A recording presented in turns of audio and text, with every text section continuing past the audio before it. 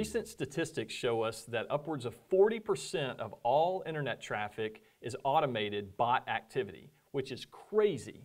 So some of those bots are good, but a lot of those bots are bad, and we need to do something about it. And fortunately, F5 has a new capability called the F5 Silverline Shape Defense. So I'm going to put that up here, Silverline Shape Defense.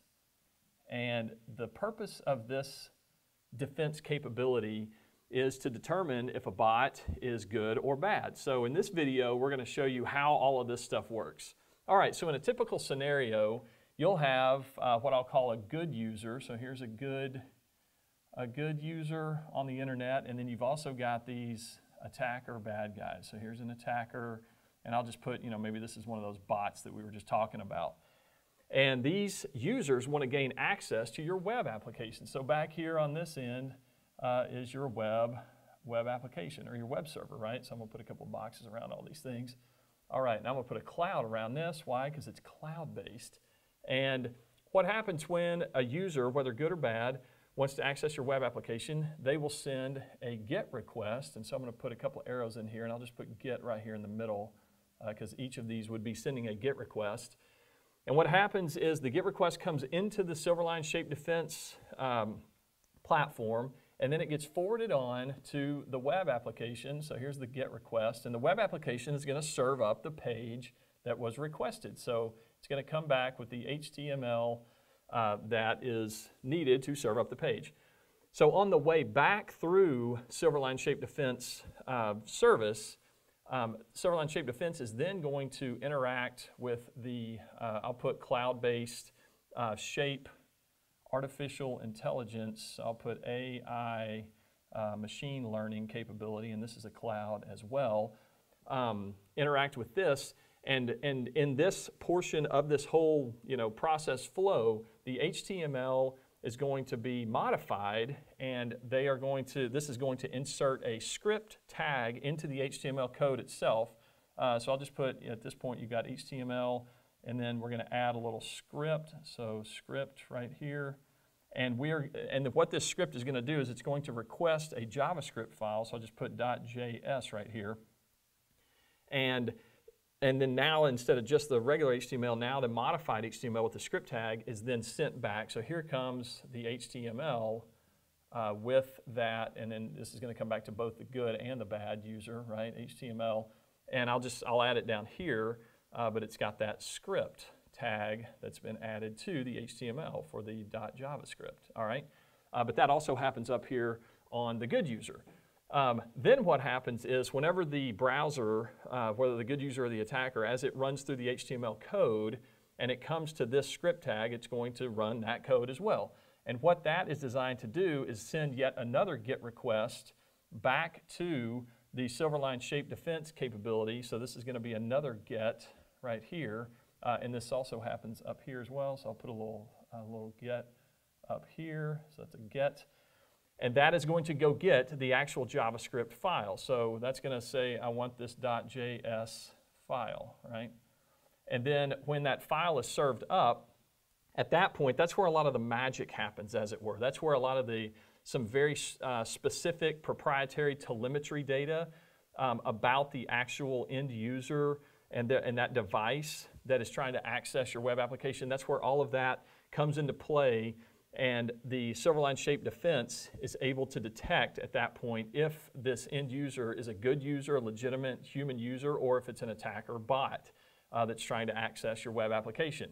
Um, so that is one, that's one uh, really cool way that they determine uh, if it's a good or bad user. But in addition to that, uh, Shape, Silverline Shape Defense is, is able to add uh, what I'll call uh, this body of knowledge. and by that I mean Silverline Shape Defense has been in this business for many years to know like what, what is supposed to happen in normal network transactions and normal traffic flows.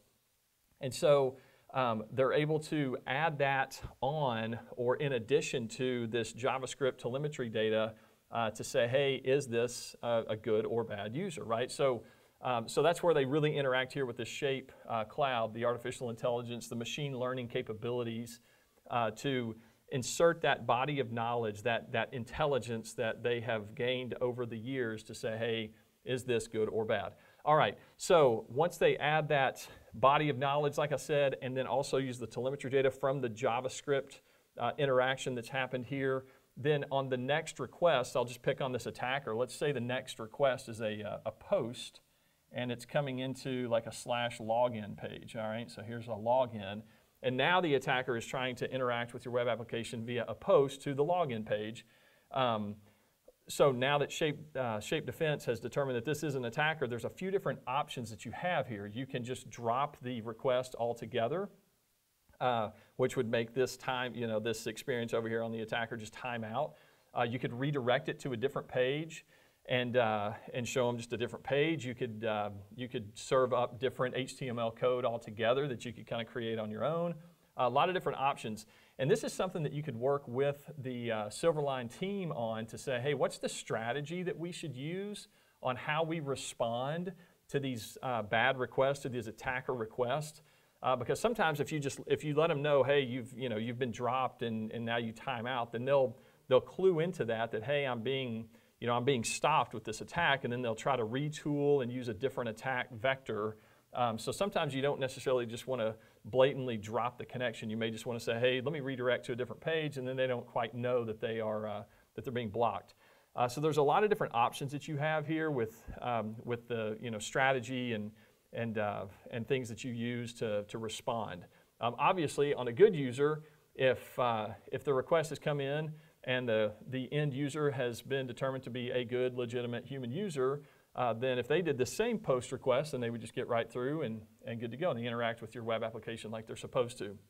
So, uh, so this, this, whole, um, this whole feature set, this whole security capability um, is, uh, is really all about determining if a good user or an attacker is trying to access your web application. And, and a few quick things about what may happen there is uh, you know, an attacker bot may consume resources. Let's say your web application is hosted on the cloud and you're paying for compute power for every single you know, resource that's used in request and response and all that. Well, if 40% of your traffic, upwards of 40% of your traffic is all just attack traffic, you don't want to pay for that to happen, right?